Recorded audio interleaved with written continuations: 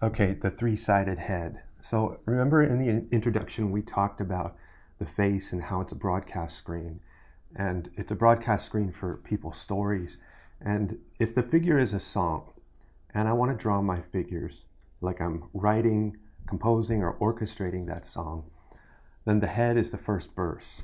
Or if I'm writing a book, the head is the first chapter. And that's going to be exactly how it is for your paintings. We tend to look at things that are like us.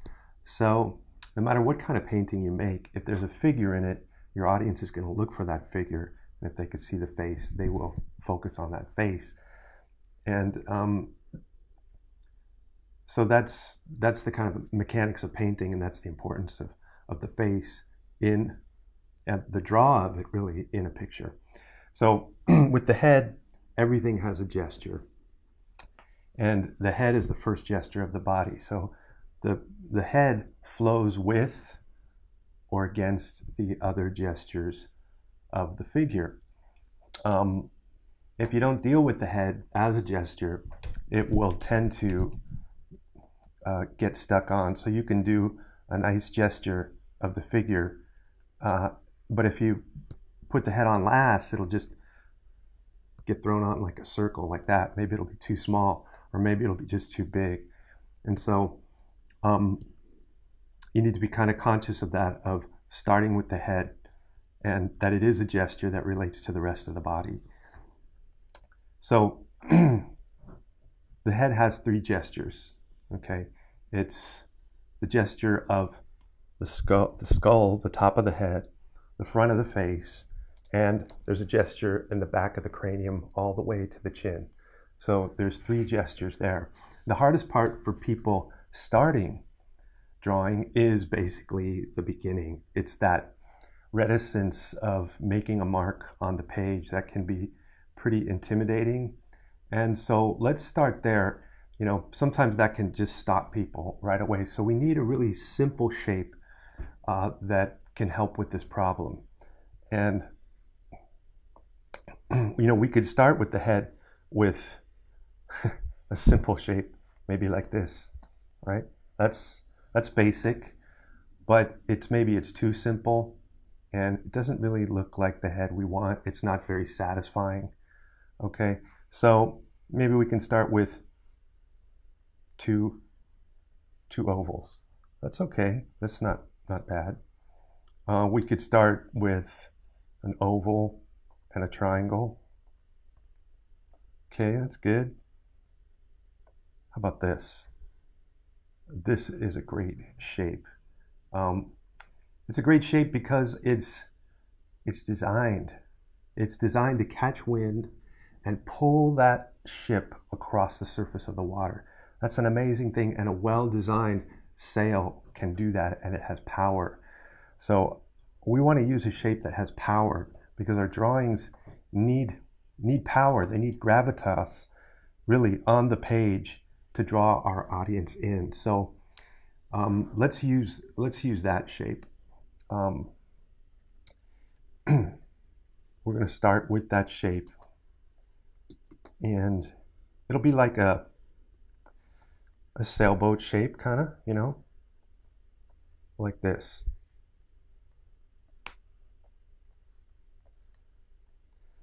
That's kind of a bulging triangle. You know we flipped the sail a little bit 90 degrees okay so this shape has three gestures one two and three and it's got curves right and it's got corners so the curves and the corners give it life, right? The, the, the curves give it life, the, the corners give it structure.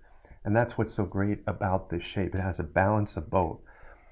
And if we take uh, the head, basically starting in any kind of profile, okay,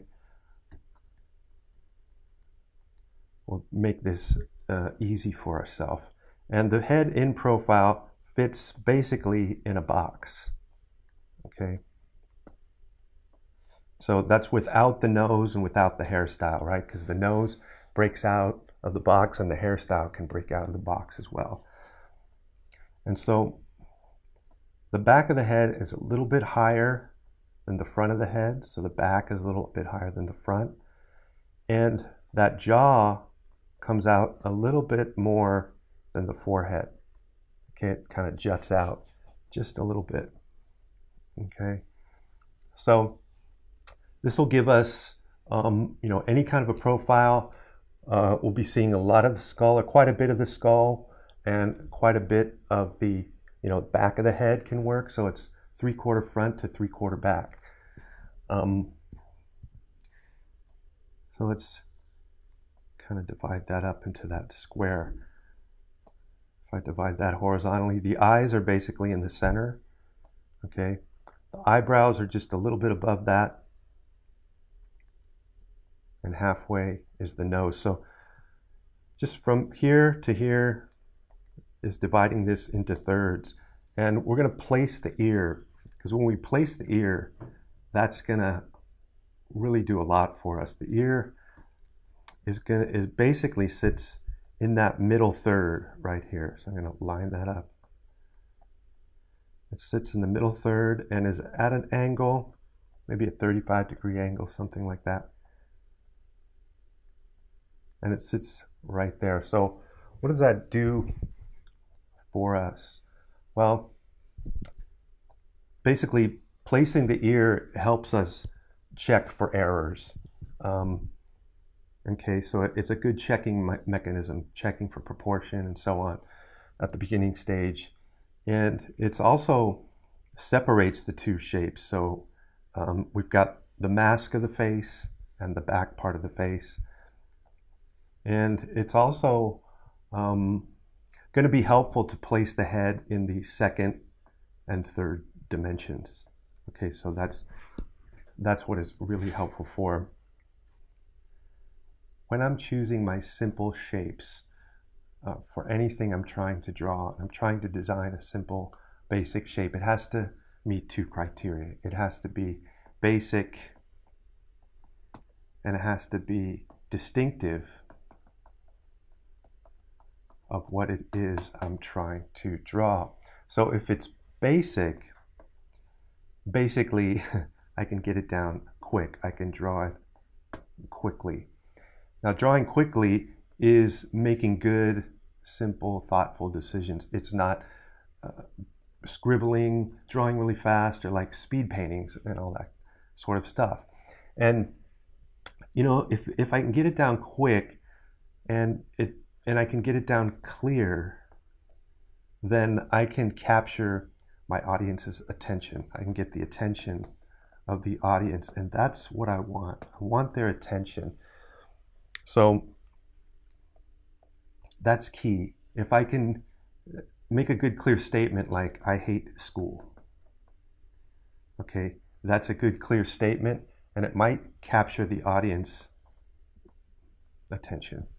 And then I can go on and write a song about it. I can write 52 chapters in a book and make a movie, a sequel, and so on. Okay, so based on that, um, based on that good, clear beginning, I put myself in a good spot to keep the audience's attention, and you know, our mind is is kind of like made uh, to find meaning around us, and it's gonna cull all of that data, but a lot of the data it sees, and it's going to edit out and it's going to look for commonalities, connections to make that meaning for us so we can navigate our way through the world or that moment.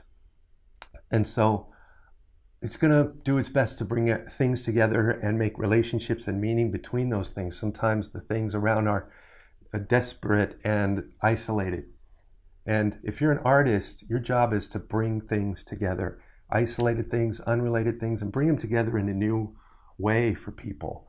So, you know, the song isn't just a bunch of notes, right? It's notes put together in a song. It's not just uh, dance steps, right? It's it's the cha-cha, the samba, the rumba, right? You put them together and it makes some meaning out of it. Okay, so if my shape my well-designed shape it, that's basic, what can I do? I can also, um, I can animate it. Okay, So Pac-Man is just that simple shape, I can do this all day long. I can do thousands of drawings of Pac-Man, a lot of footage, and get him to do everything I want to do. And I don't have to think about um, any of the anatomy of the face. No muscles, no bones, nothing. And that's that's really what I want. I want to simplify my workflow totally. So, but maybe you know you're not an animator, you're a painter. Well, I can animate my poses. I can animate my figures in my paintings or in my storyboards by pushing the pose, uh, like Michelangelo uh, would do, or Rubens Frazetta would do that. He's a great one, and he's just got these great, you know, positions of contorted figures that maybe uh, they just look so heroic and like they're about to do something or uh, doing something. The action is awesome, and you do that with, um, you know, gesture. You do that with exaggerating the pose, and and that's kind of comes from animation. So if I can make my shape basic enough, then I can design and redesign. So if you want to work for mil, uh, films and movie and TV and visual development, concept art, then um, you're going to have to, and you're designing characters, then you're going to have to design and redesign, and that's your job. So it's going to help you be able to do it faster, make changes quicker, and it's going to help you be versatile because all everything that you can draw is made up of probably three or four basic forms, and we'll get to that later. But if you can learn those forms, then you can innovate, right? You can add forms and stretch them out. You can divide the forms, you know, and just start playing with the basic forms and come up with an infinite amount of ideas and characters. Not only does our shape have to be basic, but it has to be distinctive, okay, of what we see. And if if I have to stop, okay, and an art director pulls me off the job and says, "Hey, Chris, I want you to do this," um, and I have to hand that work off to someone, then um, at least my idea is is clear, right? It's a good, clear idea that communicates something, and I can give it to someone, and they're going to be able to execute that idea and build on it and and keep going. So um, that's really valuable because you know if you have a, a you have to leave the job, you have a break, something comes up. When you come back to what you were drawing, you'll you'll have that simple idea there it'll be clear and you'll remember what your thought process was and then be able to, to continue building on that. If it's distinctive right it's going to um, have excellent connections right? So the head is connected to the rib cage by the neck right? So those connections um, the structures are connected by the gestures Okay, and those are really important because they're the connection from one thing to another. If your joints if don't look good, your audience will know it. If something's wrong with your drawing, your audience sees that right away. So the joints are important for animation.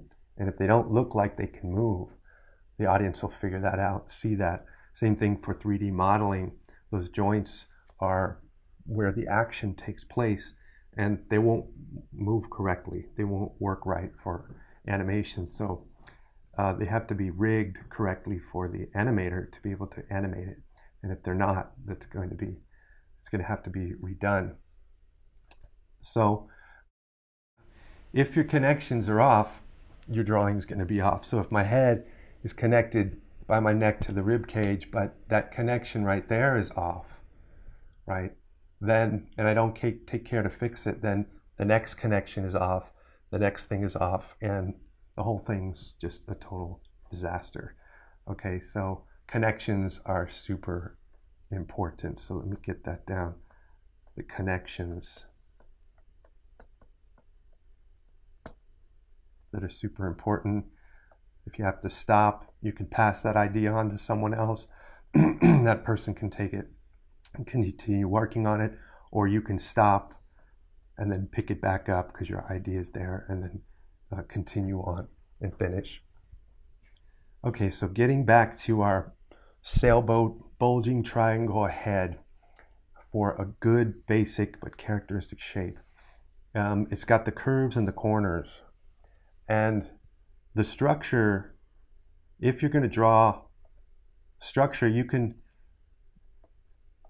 it doesn't have to be stiff, right? You can bring some life into it by gesture, right? You can bend those lines, right? You can take those corners, you can round them off and make that block of ice become a character, a moving character, right? Just by the gesture. A lot of people make a mistake when they place that ear in the middle third, right? And it's sitting there at the halfway point, a little bit behind the halfway point.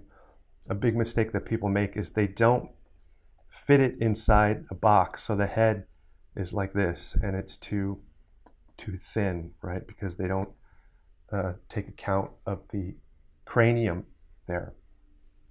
Okay, and so the ear is basically the only feature on the side of the head, so that's good. So on the front of the head are all the features eyes, nose, mouth, and the side of the head is the ear only. So that's good because it creates like a corner for us. If we line up the eyes with the ear, the two planes come together to form a corner, an inside edge, right? And so that's going to be able to tell me when I'm looking up at something or down at something, right? So if I have a box like this, right, that lining up those, that corner can help me really quickly establish this thing. I can tell you its direction in space. It's looking down. This is looking up, right? By just that inside corner and establishing that. So that's what this does for us. Um, so let's take that. So if I take that bulging triangle and let's say I place the ear here. Well, where are we? Okay, let's take a look at what placing the ear can really do for us on this model. So the ear has a way of really telling us where the head is in space. We can get a lot out of this just by where we put the ears. So if you look at the model and the model starts to tilt, where does the ear go? It crowds out the top of the skull, right? And that's how you can tell we're looking up.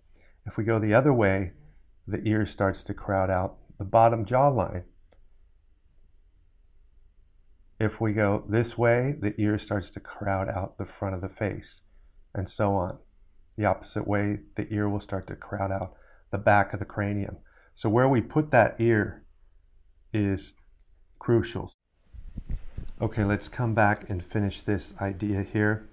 So we had the mistake, common mistake is that uh, the head is just too thin, okay, and doesn't look, doesn't look right, okay.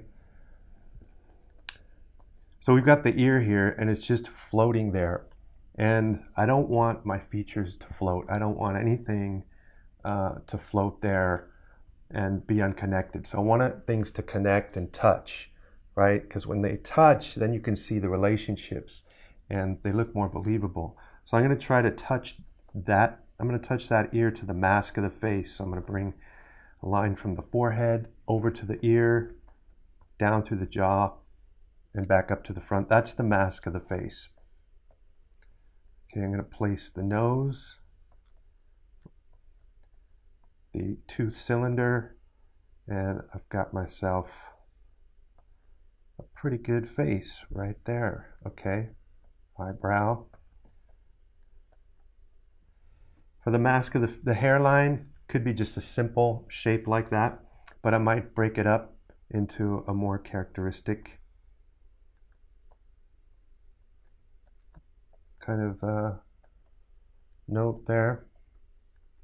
And that kind of helps me to break up that space from, let's say, the forehead back to that ear or to the front of the ear. It's a pretty big um, distance. So I can break it up into smaller distances, and that helps me a lot. So, right from the forehead to that part, outer part of the eyebrow, to the sideburn, to the ear, I can get there.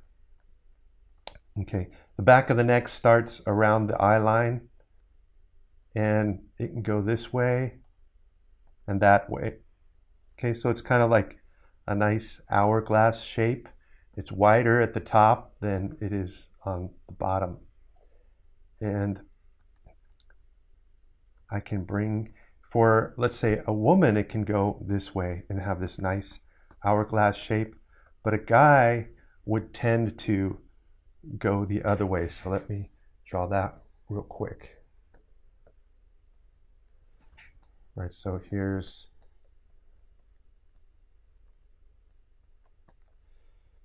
here's a guy's head and his neck go, can go this way. Right? And so that that kind of looks a little bit more how a guy's neck looks.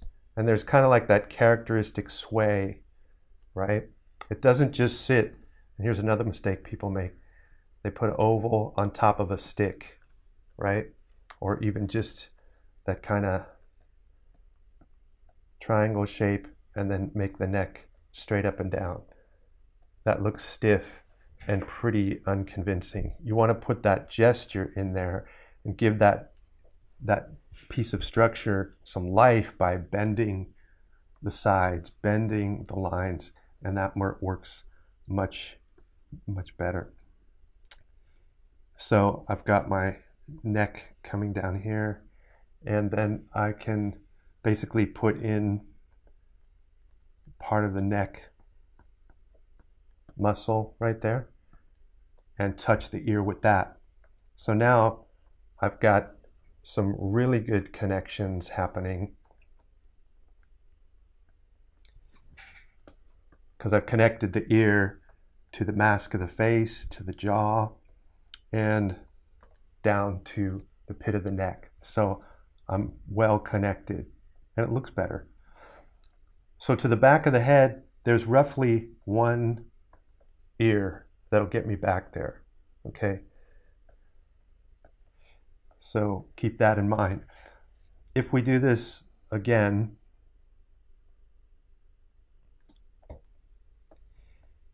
now watch what happens when I place the ear, okay?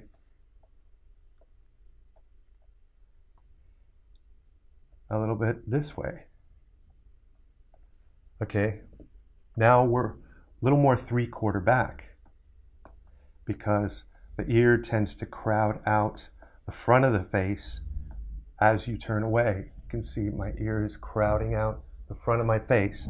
And so that's what's happening here, right? So I'm going to touch it to the mask of the face, bring that jawline, touch it to the eyebrow,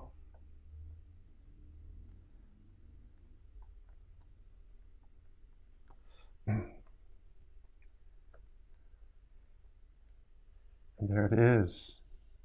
Okay, so that's pretty, you know, pretty quick to be able to, to do that.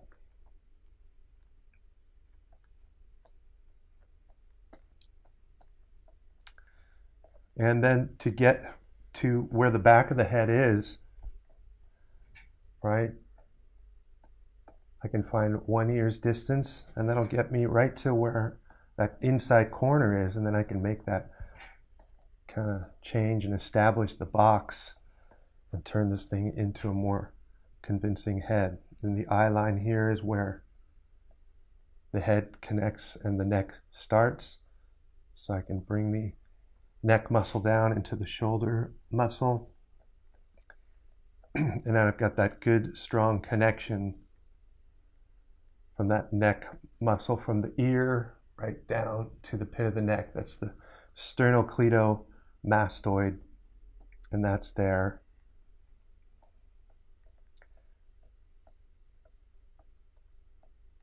And how that fits, right? and so that can be a front of the neck like this. It can be um, even a back like that. See that? There's the C7 right there. And then on to the thoracic part of the vertebra. And so we've got this now situated where we're actually three quarterback, you know, and we're looking at the back of the neck now. Whereas before we were looking at the front. Now that's really cool. It's really cool. That's powerful. So let's do it one more time and uh, draw that same shape, not changing anything. See how much we can get just out of that simple, well-designed, distinctive shape. And I'm going to put the ear out here, and I'm going to draw the ear a little bit thicker. Here we get that thicker edge. So if you think of the ear as kind of a slice of salami, right? And I just cut this part and I end up with this kind of shape like that. That's like an ear, okay? And so that's what I'm doing. I'm thickening up this top part. On the bottom, if you're looking up, you can thicken up the bottom part of the ear. So it just gives it that little extra sense to the viewer where they're at. So if I find this inside corner, now I'm, and the ear is down, crowding the jaw, I'm up above, looking down, three quarter front. Right? So that's uh, amazing, amazing stuff. So you want to think about your shapes, design them, make them simple, make them, uh, you know, distinctive of what it is, and then you'll be able to start designing your own stuff. You'll be able to draw faster. If you're doing storyboards, you need to knock out lots of frames per day. And I did lots of this on storyboards, and I used this exact idea to, you know, speed up the workflow because time, you know, is money. Uh, so, hey, I hope that this really helped you because it really helped me. And uh, I got this from uh, Steve Huston. He's a great teacher and he teaches it so beautifully. And I just wanted to share it with you today. All right, I hope that was helpful. I'll see you in the next uh, module.